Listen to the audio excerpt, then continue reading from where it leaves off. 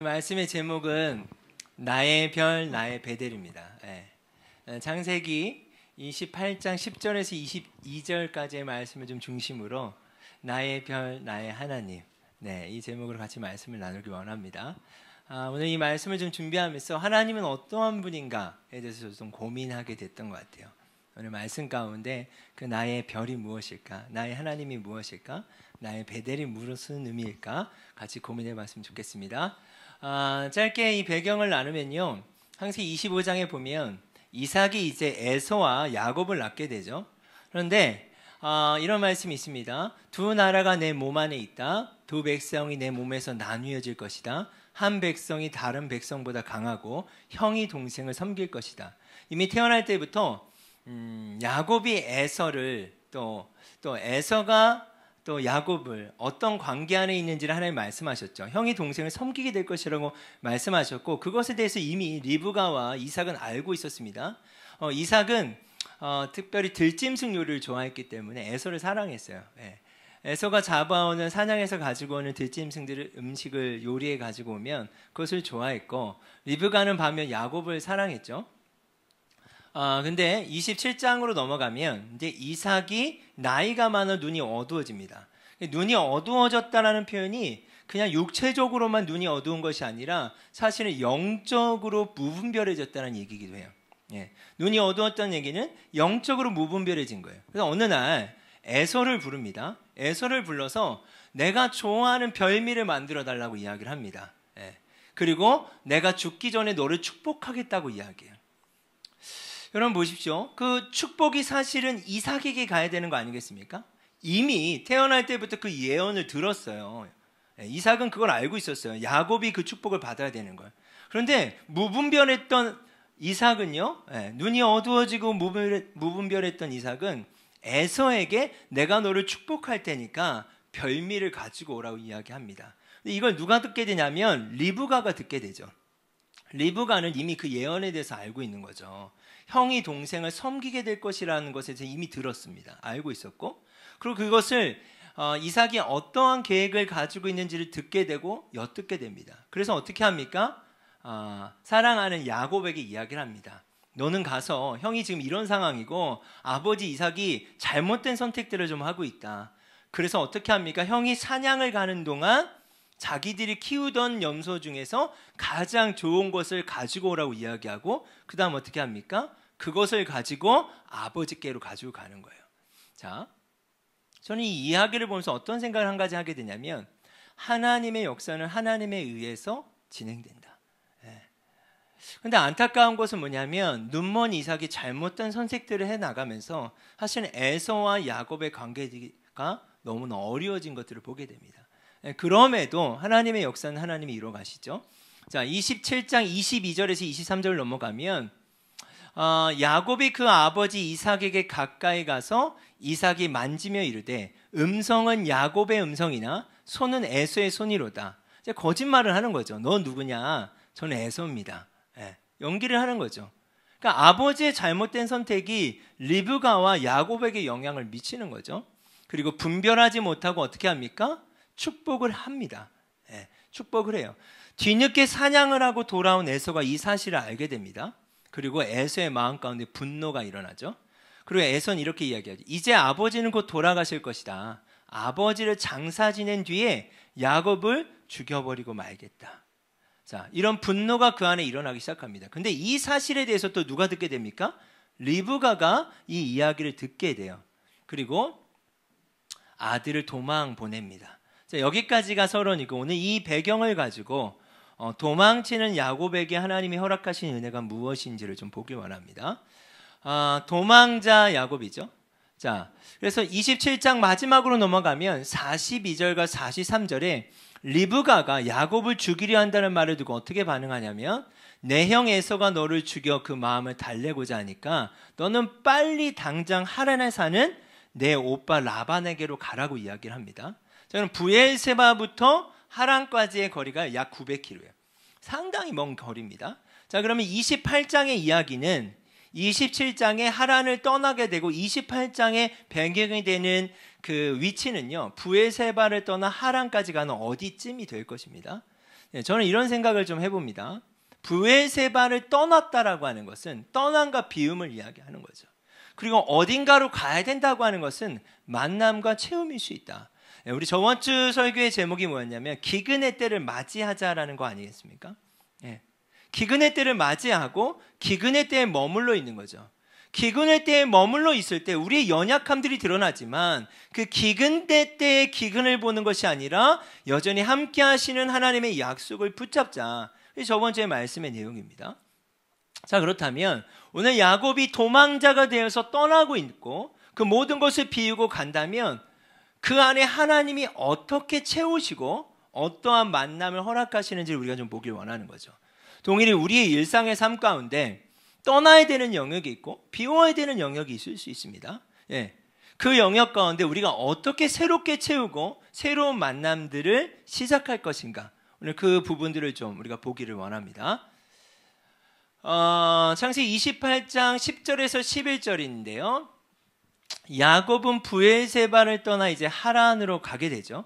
자, 그리고 어느 곳에 이르렀습니다. 그것이 어느 곳인지 정확히 알 수 없고 부엘세바에서 하란으로 가는 길목 어디쯤이 되겠죠? 예. 해가 저물고 야곱은 그곳에서 하룻밤을 지내게 됩니다. 예, 잘 곳이 없으니까 돌을 하나 주어서 그것을 베개 삼아 잠을 자는 거죠. 그러니까 너무나 불투명한 미래 가운데 있는 거죠. 떠나고 비웠는데 너무나 불투명한 거예요. 예. 어떻게 내가 하란까지 갈 수 있을까? 도망치면서 불안함이 있고 두려움이 있고 참 잠이 올 것 같지 않은 그런 상황이지 않겠습니까? 근데 그때 야곱이 꿈을 꾸게 됩니다. 예. 사다리 하나가 땅에 세워져 있는데 그 꼭대기가 하늘에 닿아 있었고 하나님의 천사들이 오르락 내리락 하는 거예요. 예, 꿈 가운데 돌을 베고 자고 있는 야곱이 꿈을 꾸는데 꿈 가운데 하나님의 천사들이 나타납니다. 자, 자, 이 상황 가운데 하나의 음성이 들려져요. 자, 이 말씀을 같이 한번 읽어보겠습니다. 나는 너와 함께하고 내가 어디로 가든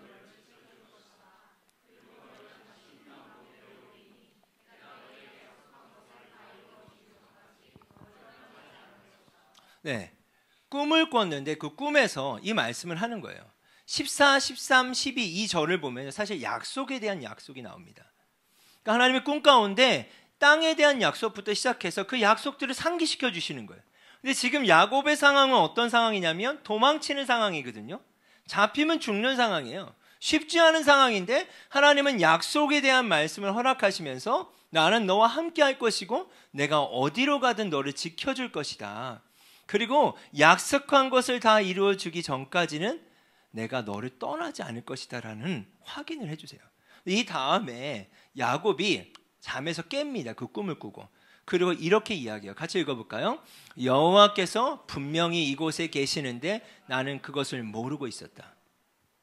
저는 이 표현이 저에게 이전에도 한 번 이 말씀을 볼 때 다가왔는데 더 다가오더라고요. 자, 여호와께서 분명히 이곳에 계시는데 나는 그것을 모르고 있었다. 그럼 지금 상황이 어떤 상황이에요? 도망치는 상황이에요.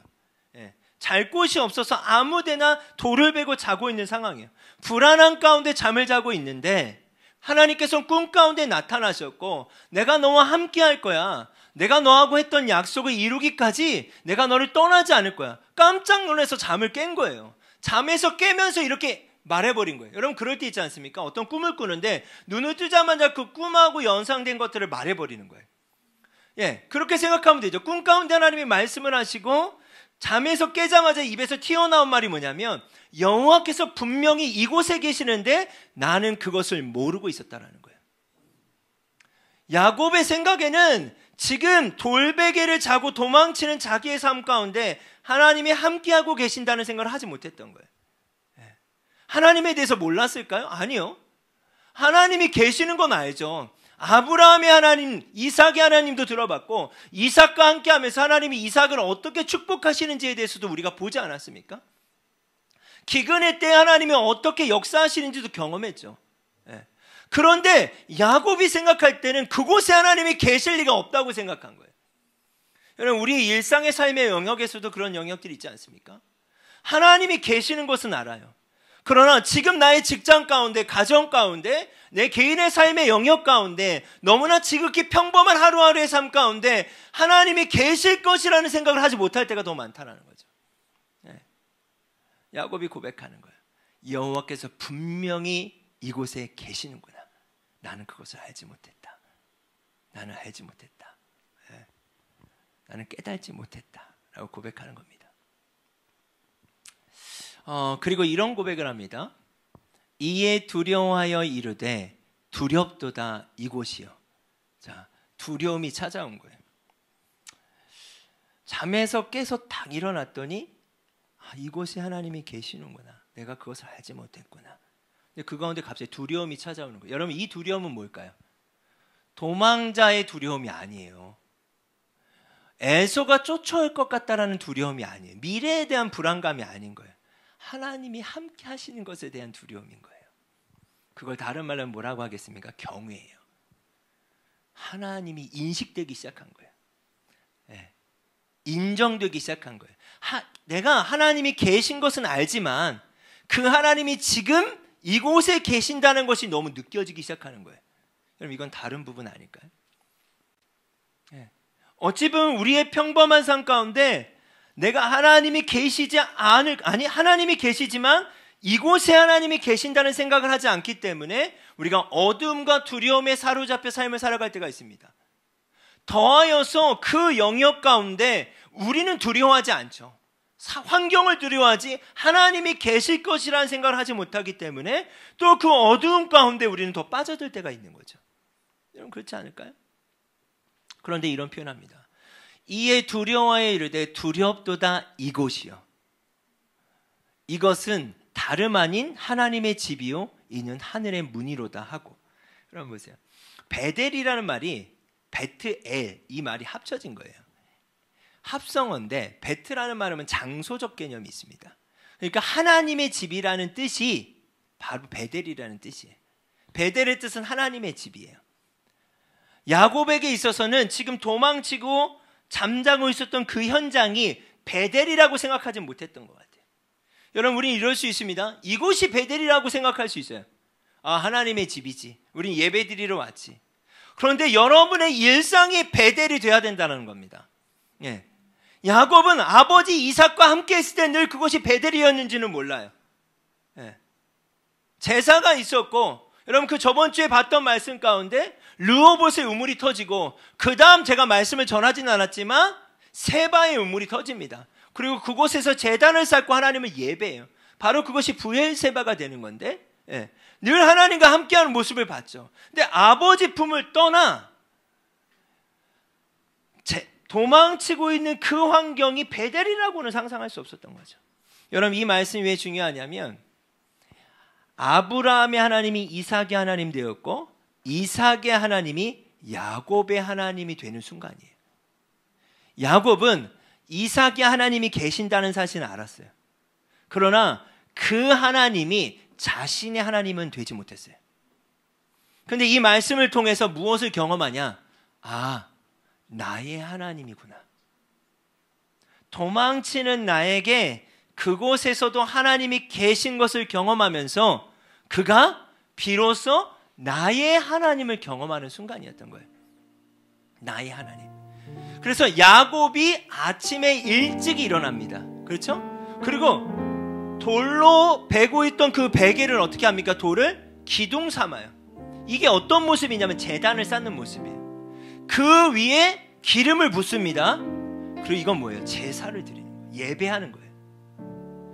그곳 이름을 무엇이라고 불렀다? 베델이라고 부릅니다.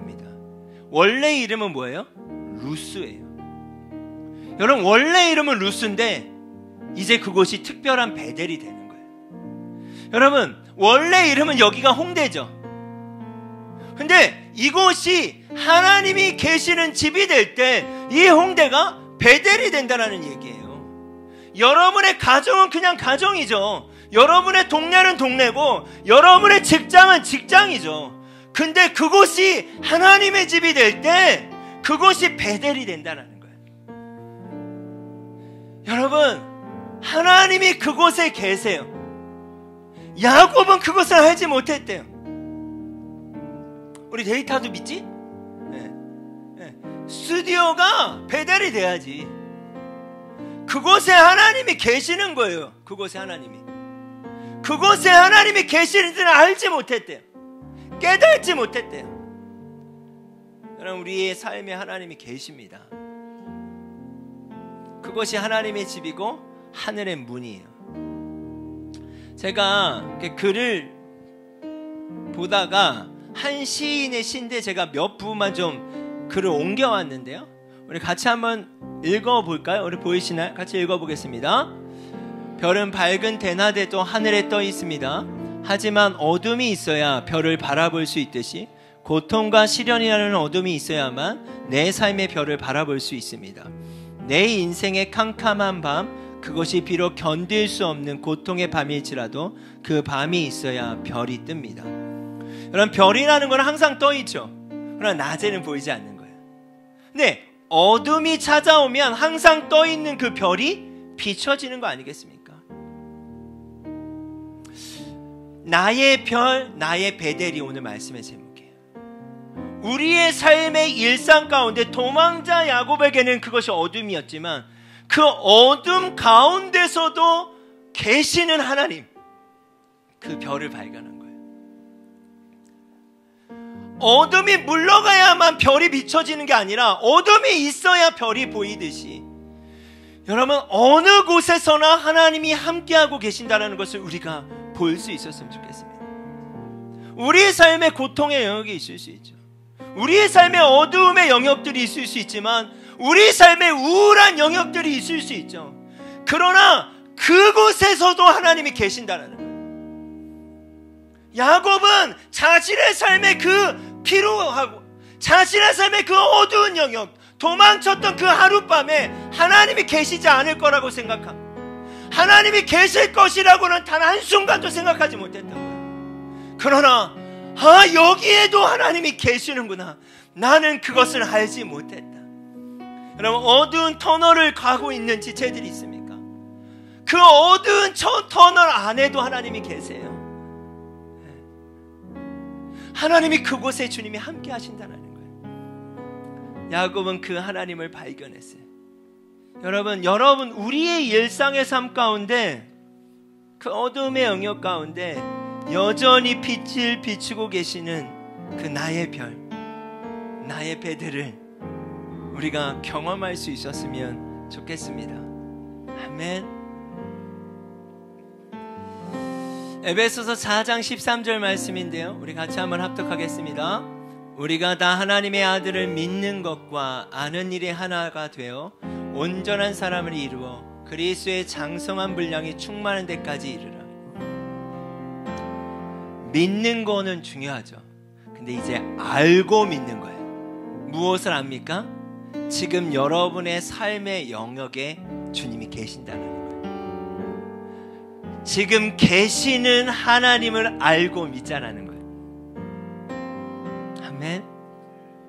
그곳이 루스가 아니라 베델이 되고 어둠 가운데 오히려 빛을 비추는 별이 될 수 있는 우리 한 사람 한 사람이었으면 좋겠습니다. 2020년 주제죠. more 더욱 사랑, 더욱 가까이. 어둠 가운데서도 주님께 더 가까이 가고 주님을 더욱 사랑할 수 있는 우리 공동체가 됐으면 우리 좋겠습니다. 우리 함께 찬양으로 좀 고백하겠습니다.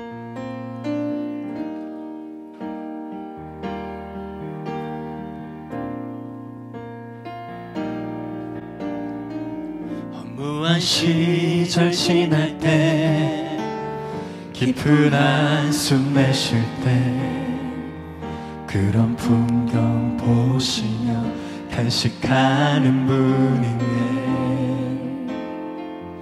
고와 같이 너희를 버려두지 않으리.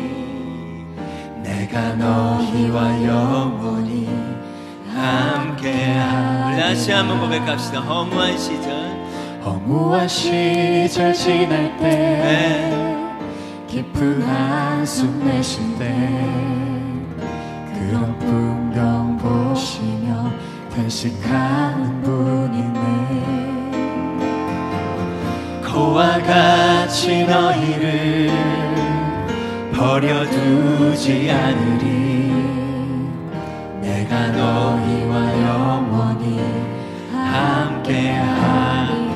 억눌린 자가 진짜 억눌린 자가 진자 자유함이 없는 자 피난처가 되시는 성령님 계시네. 주의 영이 계신 곳에 참 자유가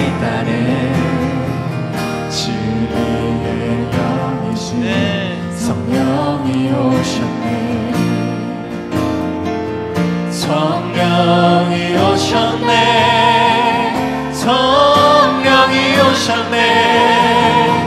내 주에 보내신 성령이 오셨네.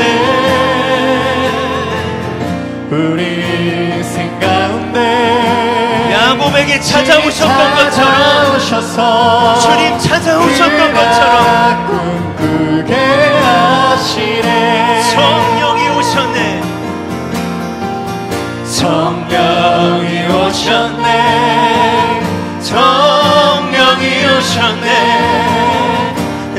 주에 보내신 성령이 오셨네 우리 인생 가운데 진이 찾아오셔서 그 나라 꿈꾸게 하시네. 다시 한번 이 찬양을 함께 고백할 때 도망자 야곱이 여기에도 하나님이 계시는 것을 알지 못하였도다 고백했던 것처럼 하나님 이곳에 하나님이 계심을 인정합니다. 하나님 성령님 꿈꿀 수 없고 낙망하고 있는 야곱에게 찾아오셨던 것처럼 우리 가운데 찾아오셔서 다시 한번 우리를 세워달라고 그런 고백 가운데 다시 한번 고백합시다. 억눌린 자가 친자 자유함이 없는 자 억눌린 자가 진짜 자유함이 없는 자 피난처가 되시는 성령님 계시네 주의 영이 계신 곳에 참 자유 주님의 영이 계신 곳에 자유함이 있는 줄 믿습니다. 주님의 우리의 그 삶 가운데 계신 것을 인정하게 해주십시오.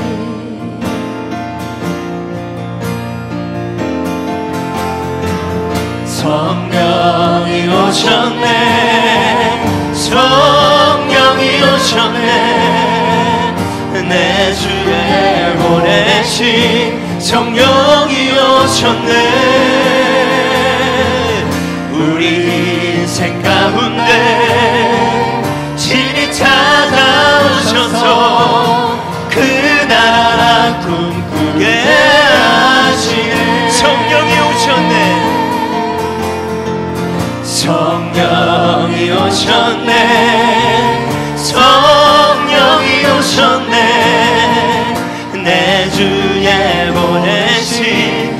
여기 오셨네. 나의 인생 가운데. 나의 인생 가운데. 진이 찾아오셔서